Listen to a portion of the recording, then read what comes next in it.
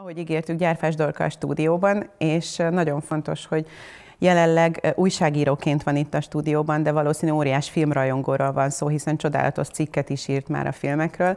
Én tudom körülbelül, hogy miket láttál, én nagyon-nagyon sokat láttam, úgyhogy haladjunk olyan sorrendben, hogy hogy jutnak -e eszedbe folyamatosan a filmek, és akkor azokra rá tudok kapcsolódni, és tovább görgetem, hogy miről beszéljünk.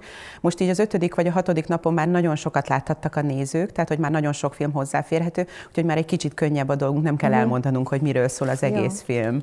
Én három magyar és három nemzetközi filmet láttam. Szeretnék egyébként többet is még megnézni, amíg van idő, de egy idő után azt éreztem, hogy most, most szünetet kell tartanom. Egyébként nem csak azért, mert nagyon súlyos témák, amiket muszáj feldolgozni, hanem azért is, mert egyébként is egész nap a gép előtt ülök és dolgozom, és van, hogy este már nem bírok többet nézni és befogadni, úgyhogy ezért fért hat bele. Annak ellenére, hogy mindig úgy, úgy érzem az ilyen fesztiválokon, hogy még ezt is, meg ezt is, meg ezt is szeretném megnézni, vagy hogyha az elő, előző beszélgetésbe belehallgattam, akkor végképp úgy érzem, ez kimaradt, ezt pedig emlékszem a trélerre, ezt meg kéne néznem. Szóval... Ugyan, ugyanez volt, hogy ugye voltak napok, amikor az egész napot én viszem végig, de voltak napok, amiken csak részben, vagy, vagy egyáltalán, és ugyanazokat a filmeket is elkértem végül, mert uh-huh. mondom, mi van, ha vissza kell rá utalni, de mi van, ha teljes képet akartam kapni a fesztiválról, úgyhogy ez lett a vége, én 20x filmnél tartok. és, Úristen. És nekem egyébként az az igazság, hogy a, rendezői elv, tehát hogy a, vannak a szekciók, és azon belül is ugye, hogy hogyan csoportosították az ágiék a filmeket. Nekem nagyon tetszettek a kategóriák, és, nagyon és, szép, és, szép alcímeket találtak hozzá. Igen, és ugye az igazságművészete az meg teljesen betalált ö, olyan értelemben, hogy ha körbenézünk, akkor tudjuk, hogy mi zajlik éppen, vagy az elmúlt fél évben mi zajlott, és a dokumentumfilmek tök érdekes, hogy hogyan tudnak aktuálisak lenni, úgyhogy akár többet hat évvel ezelőtt kezdtek el forgatni, meg nyolc, meg tíz évvel ezelőtt. Na, akkor az első kedvenc mi az, ami a leg, le, elsőre a, a beugrik, ami a leges legnagyobb hatást gyakorolt rád? Azt képzeld hogy az egyik olyan erős hatást gyakorolt rám, hogy be se tudtam fejezni, mert mert annyira a szakmámat érinti, és meg az egészet úgy láttam, ez a, ez a Gyilkos Szalámi Taktika című film, úgy éreztem, hogy ez egy Fülöp-szigeteki történet arról, hogy ott hol tart a demokrácia, és azon belül a szabad sajtó hol tart. És úgy éreztem, hogy ahogy mi látjuk a Fülöp-szigeteket, valószínűleg úgy láthat minket valaki mondjuk egy, egy jóval régebbi, fejlettebb demokráciából, és megrémültem azon tényleg, ahogy ugye most is úgy érzem, hogy már csak egy csapat, egy maroknyi csapat újságíró teheti a dolgát, és annak a, a finanszírozása vagy létfenntartása is állandó küzdelem, és a klasszik vád, ami Fülöp-szigetektől Magyarországig ilyenkor elhangzik, hogy külföldről támogatják, mert hát nyilván a Magyar, Magyarországon ellehetetlenítik, nem csak azért, mert nincs mögöttük állami pénz vagy állami hirdetés, hanem mert meg van félemlítve a piac. Tehát olyan, olyan szinten azonosultam annak a filmnek a főhősével, aki, aki Amerikában nőtt föl, és ezért egy, egy régi demokráciából hozza az értékrendjét, és próbálja az eredeti hazájában ezt meghonosítani, és van pár elhivatott ember mellette, egyébként főleg nők, akik beállnak mellé, és az életüket kockáztatják ezért, és egy ponton úgy éreztem, hogy hogy ezt miért csináljuk.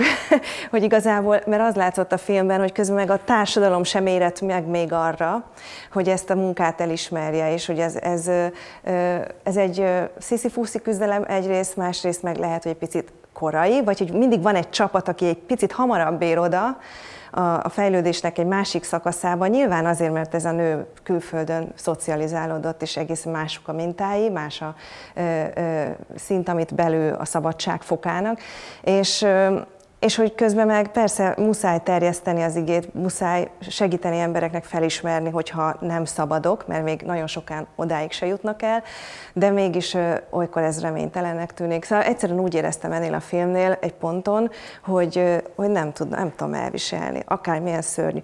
Emellett ott van az a Csapda a neten című film, ami szintén nagyon személyesen érint, és szerintem minden nőt, aki volt valaha fiatal lány, már pedig kénytelenek voltunk átesni azon az időszakon, az is nagyon személyesen érint, de ott, ott nem éreztem ezt, hogy na, ezt nem bírom nézni, ha bár tudom, hogy, hogy, hogy vannak, akik viszont így reagáltak rá, sőt, akár már az én cikkem olvasása közben is úgy érezték, hogy na ezt nem. Hát nekem két lányom van. Hát úgy aztán végképp. És akkor az első tíz perc után mondtam, hogy aha, jó. De végignézted? Persze. Na, én is úgy éreztem, hogy azt végig akarom nézni, végig kell néznem. Az nekem traumafeldolgozás volt ez a film. Tehát, hogy az az volt, hogy egyszer csak minden eszembe jutott, amikkel együtt éltem, és amiket ö, ö, egy idő után ö, vagy félre söpörtem, vagy szőnyeg alá söpörtem, vagy nem, nem vettem többet már olyan komolyan. Tehát, hogy van az első pár olyan zaklatási élményed kisebb korodból, amikor még nem is érted, hogy mi történik, és aztán, aztán ezek, ezek ilyen rendszeressé válnak, tehát hogy ez egy fiatal lány életében, ez egy, ez egy jelenlévő topik, azért azt mondjuk el, hogy itt miről van szó, ö, ö, szerintem. Egy cseh filmről van szó, ö, három olyan fiatal színésznőt kérnek föl, hogy játszanak el 12 éves kor körüli kislányokat, akik könnyen átmaszkírozhatók, tehát hogy úgy keresik kimondottan a színésztőket, hogy nagyon kicsi átalakítással egy saját 12 éves korabeli korba tudják őket visszavinni, díszletet építenek, saját emlékekkel teszik tele a szobát, totál hiteles az egész, de egyfajta színpadként, mint egy ilyen való világ úgy működik a történet. Létező aktív profil csinálnak nekik, a három lányt összekötik, mint barátnőket, plusz még hoznak be olyan fiktív szereplőket, akik az egészet még hitelesebbé teszik, és a profiljuk a Facebookon pár perc alatt, tehát publikussá válik a Facebook oldaluk, ez nagyon fontos, hogy, hogy ugye itt van egy nagyon fontos választóvonal, hogy publikus-e valakinek a Facebook oldala vagy sem. A lányok úgy indítanak, hogy elindul a kamera, forog, forognak a kamerák, három gyerekszobát látunk egymás mellett, ami díszlet, de ezt ugye a, a Facebookon nem látni, és publikusá teszik a profiljukat, és körülbelül fél óra leforgása alatt ö, ö, megdöbbentő számú ö, vadász, predátor jut el hozzájuk a chat szobába. Röviden ennyi a történet, és innen nem már, inkább nem mondok erről a többet, mert innen viszik tovább a, a dramaturgiát a rendező, hogy mit jelent ez pontosan egy fiatal lányra nézve, hogy egy 20 éves színésznőt annyira, annyira megvisel a történés, hogy hogy élőben, élőadásban, felvétel alatt elsírja magát, és majdnem összeomlik. És a drámai csúcspont az az, hogy találkoznak egy-két férfi valaki, ezeket a lányokat megkeresi és ajánlatot tesz nekik, élőben szeretnének velük találkozni. És a csúcs az az, hogy közszereplőkről van szó, sőt, van olyan, aki ráadásul a foglalkozását tekintve gyermekekkel foglalkozik. Tehát a drámai az egész, Csehország egyik legnézettebb dokumentumfilmje lett ever. De szerintem az a baj, hogy, hogy, hogy nekem nem ez a drámai csúcspont, tehát az, hogy ezek a férfiak hajlandóak bűncselekményt elkövetni, mert azok, akik már találkoznak is, azok effektíve pedofil bűncselekményt, tehát hogy gyermekbántalmazást követnek el, és van közöttük olyan, aki a feleségével együtt érkezik, és elmagyarázzák a 12 évesnek hitlánynak, hogy hogyan kell hármasban szexelni, majd kinek mi lesz a dolga. Ö, ö, itt számomra az volt a durva, hogy ugye a mi gyerekkorunkban szerencsére még nem volt köz, közösségi média, és itt egyébként nem csak a Facebookról van szó, öt ilyen oldalon jelentek meg ezek az álprofilok, köztük olyanok is, amik, amiket mi nem ismerünk, ilyen cseh oldalak, hanem hogy azonnal a szexre térnek. Tehát nekem az volt a durva, tehát hogy Átmenet öt nélkül. perc alatt rengeteg erekciót látunk, meg önkielégítés, de rengeteget, és hogy ez az egész, ez az egész, ami a férfiak fejében van arról, hogy egy nőnek... Mire van szüksége? Igen. Mi érdekli? ez, ez valami olyan döbbenet volt számomra, amit felnőttként se tudok hova tenni, tehát hogy, hogy, hogy tényleg valami nagyon más képzelnek a férfiak arról, hogy hogy mit akarnak a nők, vagy mi a jó a nőnek. Meg persze az is látszott, hogy egyáltalán nem is érdekli őket ez a kérdés, tehát tulajdonképpen ez nem kérdés számukra, egyedül a kielégülés érdekli őket, és az, tehát nagyon-nagyon szánalmasnak tűntek a férfiak úgy általában ebből a filmből. Hát ha nem lett volna ott a rendező, meg nem lett volna az az egy olyan szereplő, aki szintén ismerkedni akart a lányokkal, de legalábbis ameddig a film eljutott, addig nem, nem, nem volt mögötte szexuális szándék. Ezen kívül minden férfi beteg, torz, egészségtelen, szexuális életű nyomoroncnak tűnt, és ez szörnyű volt látni, és hogy ez ilyen nagy számmal, mert azt nem mondtuk el, hogy, hogy több, ez alatt a tíz nap alatt, amíg a lányok próbára voltak téve, több ezer férfi ö, kilincselt náluk, Igen. és azonnal a nemi szervével. De, de, de körülbelül tényleg kettő perc telik el az első ilyen szia, hogy vagy hogy hívnak, tudja az anyukát kb., és a következő mondjuk egy, egy ilyen másfél perces bevezető után, hogy akarod-e látni és kész. Hát vagy nem kérdezik meg, hanem... Igen, de hogy van egy ilyen fel, felhívás és kérdezi, hogy és mit? és mondja, hogy hát a péniszemet. Te, mint hogy a legtermészetesebb dolog lenne a világon, és hát esztétikailag, meg aztán bá, lerohad a retinám tényleg, tehát hogy így tényleg szörnyűség volt a sok esetben nézni ezt a filmet, viszont nagyon-nagyon tanulságot, nekem, nekem ugye két lányom van, de dráma, dráma volt, tehát ki, kihagyott a szívem, amikor néztem a filmet konkrétan, és többször volt olyan ö, ö, begörcsölt, a, tehát hogy úgy összeszorítottam az öklömet öntudatlanul, hogy utána egy figyelmeztetnem kell magamat, hogy ez egy film, amit nézek.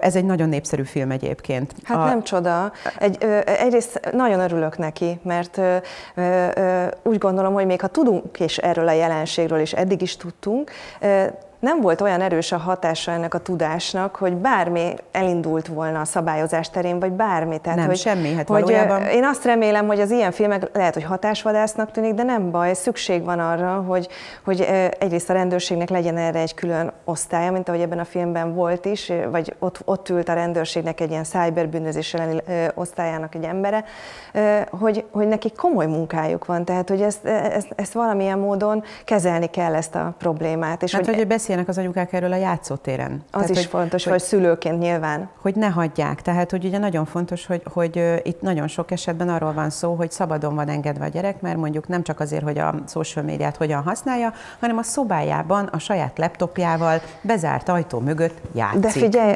Patricia, ezt viszont nem tudom, hogy hogy lehet szabályozni, mert nekem már kamaszodó gyerekeim vannak, neked még kisebbek, a kamaszkornak az a, az, az alap... Hogy rázárja az ajtót. Így van, és, és erre, erre ö, joggal van igénye és szüksége, ez az életkori sajátosság, és, és ö, nem lehet egy ponton kontrollálni. Nem lehet. És nem is szabad. Tehát szerintem nem is szabad, mert ö, akkor az ő személyiség fejlődését is gátolod. Tehát ez, ez ez egy nagyon nehéz időszak. Hát a kislányok esetében ugye van egy, volt erről már több beszélgetés itt a fesztivál alatt is, és egyébként is ugye azt mondják, hogy egyrészt ez a nyitott profil, zárt profil, tehát az, hogy azt látod, hogy kik azok, akik a, a lányoddal, a fiaddal kapcsolatban vannak, kik, kik követik. Direkt olyan ö, social media platformot választanak, és ezért alakulnak mindig újabbak, ahol a szüleik nincsenek fönn, és ez is érthető és jogos. És lépnek tovább Nyilván azért jár le a Facebook szavatossága ö, nem sokára, és azért nincsen fönn már ez a generáció rajta, mert, mert nem akar ott lenni, ahol a szülei, én se oda akartam járni bulizni, ahová a szüleim mennek bulizni. Igen,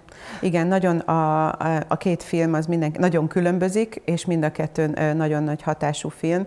A sajtószabadságról és az egészről, ugye azt akarta, tegnap volt egy ilyen típusú beszélgetésünk a videó, hír és az újfajta médiumok és platformok megjelenésével, hogy a, hogy a, a, a, a nőt folyamatosan azzal támadják, hogy hát ő nem is oda valósi honnan tudná az, az ottani helyzetet és állapotokat.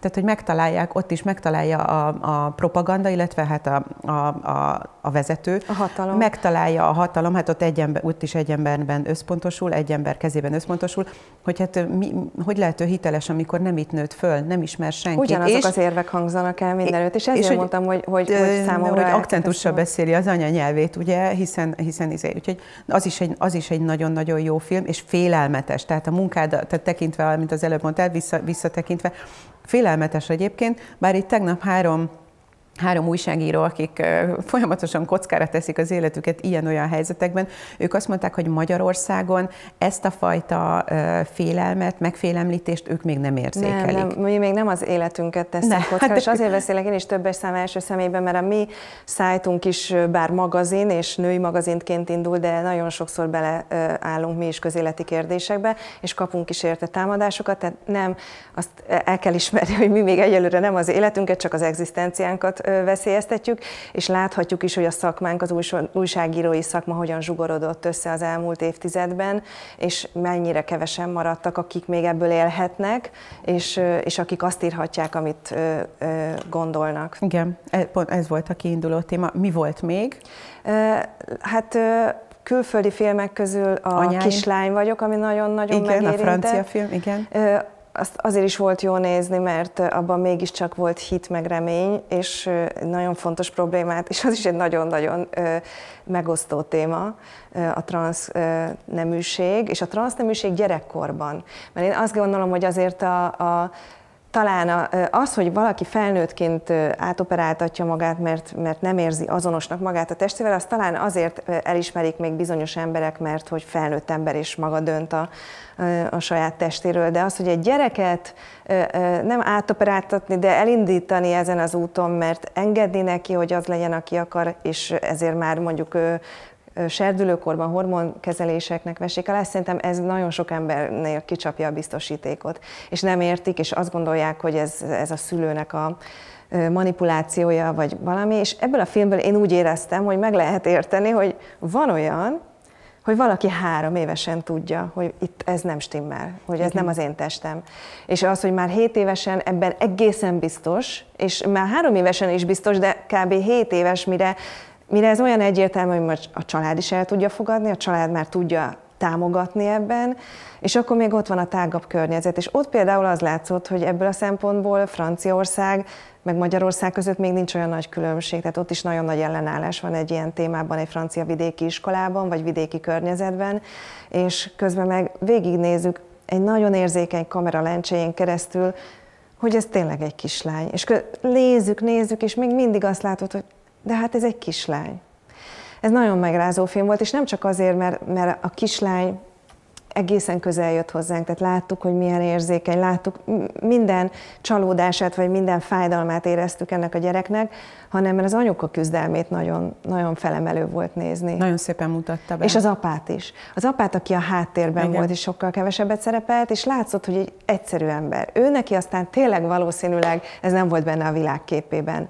De a gyereke, az mégiscsak az aki, és nem foszthatja meg az identitásától is, ha neki az az identitása, hogy ő kislány, akkor a mögé áll be, mert neki végül is az fontos, hogy a gyereke boldog legyen az életben, és ez, ez nagyon szép történet azt, volt. Azt mondja az apa, ez egy ilyen csúcsmondat, hogy ez nem a toleranciáról szól. Igen. Azt mondja, ez a szeretet, nem érdekel, hogy, mi, hogy mit akar, meg hogy mit mondanak. Ő a lányom, és ő a gyerekem, és pont. Igen. És azt mondja, hogy semmi köze az elfogadáshoz, ez a szeretet. És a másik, amit mondtál az anyával kapcsolatban, az anya küzdelmét, arról, hogy, hogy mi motiválja az anyát, és hogy mivel vádolják meg például az anyukát, vagy az ilyen, ilyen anyukákat általában, hogy ugye mennyiben a teret ennek a vágynak. És itt a filmben is elhangzik, ugye az iskolában többször megvádolják az anyukát, hogy ő, ő, igazából ő segíti elő ezt a folyamatot, nem gátolja meg. És az első kérdése a szakpszichológusnál Párizsban, amikor elutaznak, hogy mennyiben tehető erről, akár a terhesség ideje alatt, a megfogantatást alatt, a megszületésig, illetve az első pár évben. És nagyon szépen, annyira ügyesen teszi helyre a pszichológus ezeket a kérdéseket, mindenfajta fel, felhang meg, meg hangsúly meg minden nélkül, mert igazából a szasára koncentrál, de olyan szépen mondja, hogy sok mindent nem tudunk erről a betegségről, de azt tudjuk, hogy nem azért történt ez, mert ő nagyon kislányt szerethet volna, vagy azért, mert ő például megengedi neki, hogy kislányruhát vegyen föl. Tök máshol gyökerezik a történet, és nem ő tehet róla. Egy kicsit azon gondolkoztam közben, hogy hogy azok az emberek, akik ezt nem tudják elfogadni, és berz, berzenkednek, vagy akár borzonganak tőle, vagy írtóznak tőle, hogy azt nem értik meg, és mindig ez, ez is sokszor elhangzik, hogy ez nem választás kérdése, és én azt remélem, hogy ebből a filmből valamennyire ezt lehet megérezni, hogy ez nem választás kérdése, mert hogyha választás kérdése lenne, akkor jön az a következő, hogy hát akkor ezen lehet változtatni. Mert ugye akik, akiket mondjuk homofóbnak nevezünk, nem akarom én sem őket megbélyegezni, de azok azok azt gondolják, hogy, hogy lehet ellene küzdeni, lehet ellene tenni, és kell is. És, és, hogyha, és, és ennek a másik oldala meg az, hogy viszont ha engedjük, akkor csak egyre többen lesznek, mert akkor ez kvázi mint egy járvány vagy egy ragály terjed. És, és igazából itt, itt, itt van a két oldal között a szakadék, hogy a másik oldal meg azt mondja, hogy nem, ez vagy benned van, és így születél, vagy nem. Persze ez megint az távolabbi problémához vezet ez a nurture or nature, tehát hogy beleszületett dolog-e, akár a homoszexualitás, akár a transzneműség, vagy a környezeti hatások teszik, amire még mindig nincs válasz, tudományos válasz, egyértelmű válasz, az én tudomásom szerint legalábbis nincsen. Valószínű, hogy mind a kettő benne van, de hogy van egy pont, ahol ez már, tehát ez nem egy visszafordítható folyamat. A, a pszichológusnő egyébként azt mondja, nem csak, hogy konkrét elnevezése van a betegségnek, hanem már definiálni tudják pontosan, hogy ez honnan ered, és mi az agynak mely területének az elváltozása okozza. Tehát már ennyire sokat tudunk meg a filmből. Ez persze nincsen így kiemelve, de tök font, nagyon fontos, hogy elmondja a, a nő, hogy mi a neve a betegségnek. Hivat, Franciaországban ugye a óriási különbség Magyarország és Franciaország között ott van, hogy ezt ott megteheted, nálunk meg nem teheted meg. Tehát Magyarországon nem kérhetsz pszichológus szakvéleményt vagy pszichiáter szakvéleményt azért, hogy aztán nem változtatást hajtsál végre, vagy pedig a nevedet megváltoztassad. Franciaországban pedig papírt kaphatsz arról, hogy te ezzel születtél, ez a problémád, és elindulhatsz ezen az úton. Óriási különbség nyilván, ez hatalmas különbség, de az, az, az azért látszik, hogy viszont amíg a egy kül, széles társadalmi közeg ezt, ezt a pro- megérti, igen. vagy elfogadja, az még ott is Igen, ez egy francia Lyon melletti kisváros, és pontosan ez Párizsba kell utazniuk a papírér és a pecsétér, mert az iskola igazgató is ahhoz ragaszkodik, hogy hát hogyha hivatalosan kijelentik, akkor akkor hajrá. De addig hallani nem akar arról, hogy a, és ugye az orosz balett tanárnő is ugye rácsukja az ajtót, amikor az anyukája a legnagyobb nyitottsággal próbálja neki elmondani. És mondja ezt egy orosz balett tanárnő egyébként, aki nyilvánvaló, ahonnan jön, az a közeg. Az embereknek a 70%-a, a balett szakmában dolgozó embereknek a 70%-a, főleg a férfiak, azok melegek ráadásul. És ezt most te mondod, aki balettintézetben Hát igen, én ezt, én ezt bátran kijelentem, igen, és tök érdekes ez, hogy, hogy, épp, hogy pont a balett tanárnő zárja ki, pedig az anyuka egyszerűen csak szeretné elmondani, hogy mi a helyzet, és hogy fogadja el, mert hogy új balettanárnőt kap. A film nagyon szépen viszi végig, nagyon rövid időszakot ábrázol, a szomorú egyébként, tehát hogy nem látunk egy kicsit többet a Sasának a további életéből. A dokumentumfilmesek általában jobban belenyúlnak, vagy tovább nyúlnak egy ilyen történetben. Ez egy, ez egy másfél évet ábrázol. De hát tudni, tehát tudni kell egy történet végét, tehát le kell valahol tenni a pontot. Hát meg, meg, meg, meg, meg ott ki, ki, válasz, válaszokat kaptunk azokra a kérdésekre, amik az elején felmerültek ebben a történetben, és olyan szép ez a, hogy a neve a Sasa, ami ugye két két, tehát a hím és Egy unisex név, Igen. és mondja is a nő, hogy milyen érdekes, hogy a négy gyerekéből pont ez az egy kapott unisex Igen. nevet. Még az nagyon érdekes, és szerintem az a szép befejezése ennek a történetnek a filmben, hogy azt mondja a nő, hogy hogy most már úgy gondolja, hogy a gyereknek egy küldetése van ezzel, hogy, hogy, és azért áll mögé anyaként, mert, mert ő fog tanítani másokat arra, hogy ez a, ez a jelenség létezik, és hogy ez ellen nem lehet semmit tenni. És ez azért volt szép szerintem, mert azért engem zavart a film közben, vagy főleg az elején az, hogy egy ilyen kisgyereket kitenni ennek. A filmezésnek, vagy a Igen, magának? a filmezésnek. A, a filmezésnek. Nyilván. És ezzel a végén igazolták, hogy miért kell kitenni őt ennek, mert, mert a film is talán segít az elfogadásban, legalábbis egyértelműen ez a szándéka. A rendezői videóból van erre egy pár kérdés, egészen konkrétan, hogy mit gondol erről, hogy egy pici gyereknek az életébe ezen a módon. Nem az, hogy az iskolában, az udvaron mi történik, vagy a kertben, vagy amikor család van, vagy elmennek az orvoshoz, de a rendező sok időt töltött velük a házban és a, a családdal, és amikor megszokták már a jelenlétét, a kamerának a jelenlétét, szinte már minden napi szintű volt, akkor a rendező elkezdett a Szasával is barátkozni és beszélgetni, és hosszú idő után kérdezte meg tőle először, hogy, hogy bemehet-e úgy a szobájába, amikor ő egyedül van és játszik. Tehát amikor,